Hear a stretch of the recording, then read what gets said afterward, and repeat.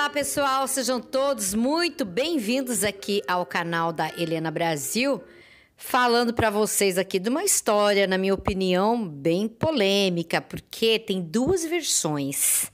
Eu vou contar a versão agora que aconteceu agora num podcast do papagaio falante. Depois vou contar uma versão que é mais antiga, mas vou contar as duas e vocês tirem suas próprias conclusões. A gente, depois que a gente começou a fazer vídeos aqui de Paulinha Abelha e Marlos Viana, a gente começou a ser muito detalhistas nas coisas, né? Então, uma coisa que eu percebi aqui no podcast, eu vou contar para vocês. É sobre Ayrton Senna, Xuxa Meneghel Adriane Galisteu, que não tá, ele não disse o nome dela, mas também eu vou contar aqui o que aconteceu com a Adriane Galisteu, por que eu estou falando dela aqui nesse vídeo. Gente, olha, o Michael Sullivan é um baita de um compositor, já compôs para muitos artistas, inclusive muitas músicas da Xuxa é de composição do Michael Sullivan né? E ele fez um podcast junto com o Serginho Malandro, que é papagaio falante, e no podcast, ele relembrou a história de Ayrton Senna com Xuxa Meneghel. Então vamos contar o que o Mike Sullivan contou aqui no podcast para o Serginho Malandro.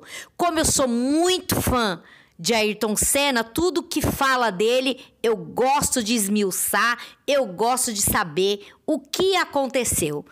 Por que, que isso aconteceu? Então vamos lá. Bom, o Mike Sullivan estava no podcast junto com o Serginho Malandro e ele conta do que aconteceu com Ayrton Senna, né? Que todo mundo sabe, né? Que o Ayrton faleceu de uma maneira assim muito triste, né? No dia anterior, ao que aconteceu com o Ayrton, que teve aí o acidente fatal com Heisenberg, que era um piloto também que corria na Fórmula 1. No dia anterior teve esse acidente com Heisenberg que lhe tirou a vida do Heisenberg. O Mike Sullivan conta que a Xuxa, naquele dia anterior ao domingo, né, no sábado, ele liga para a Xuxa às três horas da manhã. Três horas da manhã era em Imola. Onze e meia da noite ou onze horas da noite era no Rio de Janeiro. Ele ligou para a Xuxa, o Mike Sullivan contando. Ele liga para a Xuxa, ele estava nervoso, era sábado à noite, tinha vindo do necrotério onde estava o Heisenberg, gente. Aconteceu também algo, um acidente com o Rubinho Barrichello. Era um final de semana das bruxas, né? Quando aconteceu isso com o Ayrton Senna, né? Então, a Xuxa pergunta como que ele tá e se ele iria correr, né? Ele aí ele fala, eu não, eu não sei se eu vou correr. E aí ela conversou com ele, o Michael Sullivan conversou também com o Senna muito rápido. E aí o Michael conta que a Xuxa e o Ayrton ficaram no telefone mais ou menos uns 40 minutos ou mais. A Xuxa fala: resolvi, quando ele voltar, o Senna, né? Vamos nos casar. Eles estavam dentro de um estúdio, porque o Michael Sullivan estava colocando voz numa música da Xuxa Meneghel. Tava dentro do estúdio o Sullivan, a Xuxa, o técnico Jorge Gordo, muitas outras pessoas ali da Globo e também estava a Mercedes Sosa, que era uma pessoa que gostava muito da Xuxa, é uma cantora. E ele não fala o nome da Marlene Matos. Ele não fala que a Marlene estava dentro do estúdio. Mas ela devia estar, tá, né, gente? Porque ela era produtora da Xuxa. Eu acho que ele esqueceu. Mas ele não fala o nome da Marlene. Podem ver no podcast. Mas depois ele fala da Marlene. Num momento mais pra frente que eu vou contar pra vocês. Bom, então a Xuxa, quando recebe o telefone, o telefonema do Beco, que é o o apelido do Ayrton Senna, ela conta que ele estava nervoso e ela pergunta para ele: Beco, depois de tudo isso que aconteceu, por que, que você vai correr? Aí o Senna responde: Eu tenho que correr. O Schumacher está na minha cola. Aí eles ficam ali, a Xuxa parece que não quer gravar, ela fica triste com tudo isso que aconteceu. Eles resolvem sair dali, daquele estúdio, e todo mundo ir comer sushi. E aí ela fala que ela quer ir embora, né? Porque ela tá triste com tudo isso que aconteceu. Ela não queria nem mais gravar, de tanto que ela ficou ali, né? Triste com tudo isso que aconteceu. O Sullivan não consegue dormir essa noite, ele conta. Ele viu a hora do acidente que aconteceu ali com o Ayrton e aí ele liga para Marlene Matos e a Marlene, e a Marlene fala assim: "Tô com ela para ver como eu vou acordá-la e contar o que aconteceu. Ele liga, né, no outro dia que aconteceu com o Senna, a Xuxa tá dormindo e a Marlene que atende o telefone e a Marlene fala: "Eu tô querendo aqui acordar ela para ver como eu vou contar essa situação." Né? Porque já havia acontecido o pior com Ayrton Senna, nosso grande campeão, né? Nessa hora, o Sérgio Malandro diz que ele também ligou para a Xuxa nesse dia do acidente. Quem atendeu foi a Maria. ela atendeu dizendo que a Xuxa estava gritando dentro do quarto, porque a Marlene nessa altura já havia contado para ela, né, gente? Foi uma dor muito forte. Ninguém entrava no quarto porque ela estava gritando muito o Sérgio Malandro, Malandro fala, eu quero falar com a Xuxa, e a Maria fala, não, você só vai ouvir os gritos dela, ela tá gritando muito, porque ela já sabe da notícia, né, gente? Nessa hora, gente, o Sérgio Malandro pergunta ao Michael Sullivan que ele estava impressionado com o que o Sullivan contou, que o Ayrton ligou para a Xuxa na véspera da corrida e o Sullivan vai mais além agora, que eu quero que vocês prestem atenção.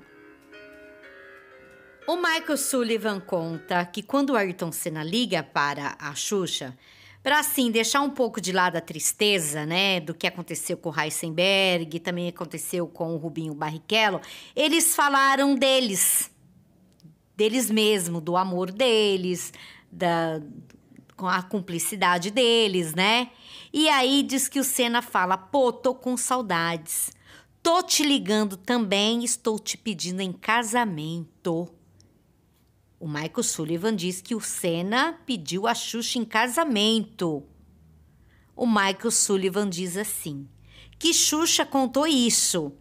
Ele não viu, eles falaram, mas ele não ouvia, né, o que o Senna falava.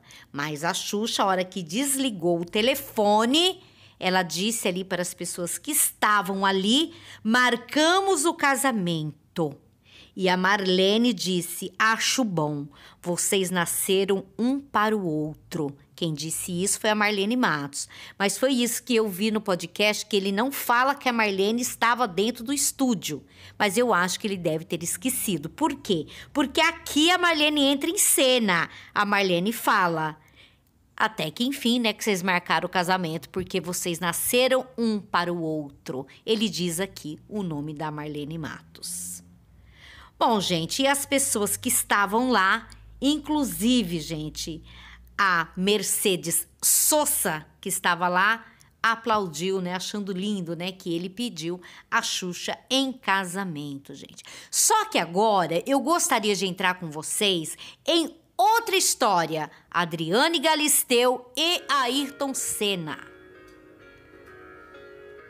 Só que nessa mesma época tem a história do Ayrton com Adriane Galisteu, porque eles estavam namorando nessa época aí. Que o Michael Sullivan conta que o Senna liga para a Xuxa. A Adriane com o Ayrton estavam namorando. E ela até escreve: meu 405 dias ao lado de Ayrton Senna. Ela, ela conta num livro tudo o que aconteceu com ela e Senna chama O Caminho das Borboletas. Esse livro é lindo, tanto que eu vou deixar os dois vídeos que eu fiz aqui sobre a história de amor dos dois. Aqui em cima desse vídeo aqui vai ter esses dois vídeos. É linda a história dos dois, gente. Tem uma parte do livro em que a Adriane conta que quando eles se amaram pela primeira vez, está no minuto 13 e 51 do segundo da segunda história que eu conto dos dois aqui, que eu vou colocar em cima desse vídeo. Ela acordou e com ele acendendo a luz do quarto, ela contando como foi, né? Que eles estavam, os dois ali, enamorados, como foi a primeira noite de amor deles, né? Ele apoia no travesseiro. É uma história linda, viu, gente? E ele diz assim, o Ayrton: O que você quer? Quer casar comigo? Tem uma igrejinha ali na praia de Jipoia. É só juntar as testemunhas e ir lá. Notem que no livro da Adriane, o Ayrton também pede ela em casamento. Porque isso é um pedido de casamento, né, gente? Dizia que tudo entre eles, o Ayrton dizendo, ela conta isso no livro, que tudo entre eles era especial e existia uma magia entre eles. Bom, quando acontece o acidente com Ayrton Senna, ela estava no Algarve, que é uma casa que eles moravam juntos. Ela fala do quarto deles, que ela não conseguia entrar no quarto, depois que aconteceu isso com a Ayrton, que era o quarto de tantas juras de amor que eles fizeram ali dentro. A Adriana, então, quando aconteceu isso com o Ayrton, ela estava no Algarve e ela conta que o Senna liga para ela também na noite anterior ao que aconteceu com ele. Era 8h30 da noite quando o Ayrton liga para ela lá no Algarve. Ele fala com ela. Ele fala que quando ele voltasse dessa corrida lá de Imola, ele queria passar a noite em claro com a Adriane, conversando até o amanhecer. Adriane conta no livro que o Ayrton, nesse telefone, ele diz assim: Quero te convencer que sou o melhor homem da sua vida. Aí ela fala: Como que você vai provar que você não conhece meus outros namorados? Não conhece com quem eu namorei? Aí diz que ele fala assim: Mas eu vou te provar que eu sou o melhor. Então, gente, eu tô contando isso para vocês, para vocês verem que na mesma época né, que tem a história dele pedindo a Xuxa em casamento, também tem a história que a Adriana estava no Algarve esperando Senna nesta mesma corrida de Imola. E ele falando que ele ia chegar, que eles iam conversar até o amanhecer, que eles iam falar de bastante coisas. Então é isso que eu queria contar para vocês. Na mesma época existia duas mulheres aí, né? A Xuxa Meneghel e a Adriane Galisteu, que tinham um grande amor pelo Ayrton, né? A Xuxa contando que o Senna pediu ela em casamento nessa véspera e a Adriane Galisteu falando que ela estava esperando o Senna depois que acabasse a corrida de Imola. Olha só, gente, que polêmico. O que vocês acham dessa história? E agora me acendeu uma coisa assim dentro de mim, que tem a terceira parte dessa história do livro da Adriane Galisteu, que é Meus 405 Dias com Ayrton Senna, que é O Caminho das Borboletas, o livro. Eu vou contar essa, essa terceira parte. Com certeza, por esses dias eu quero contar. É lindo, gente. Assiste a primeira parte que eu conto como eles se conheceram. A segunda parte também eu conto a história de amor dos dois. E a terceira parte eu vou contar agora, que eu nunca contei, mas eu vou contar também.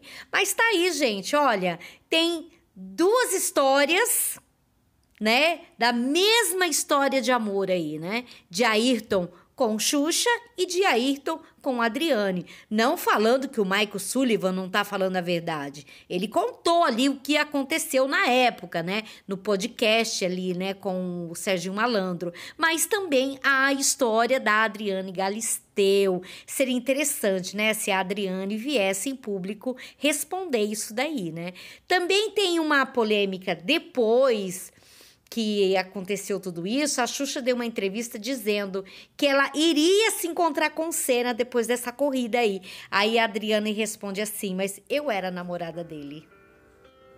Bom, e vou terminando esse vídeo aqui dizendo a mesma coisa que a nossa linda Tina Turner disse um dia do nosso grande campeão Ayrton Senna. The best. É isso aí, gente. Bye bye, até meu próximo vídeo.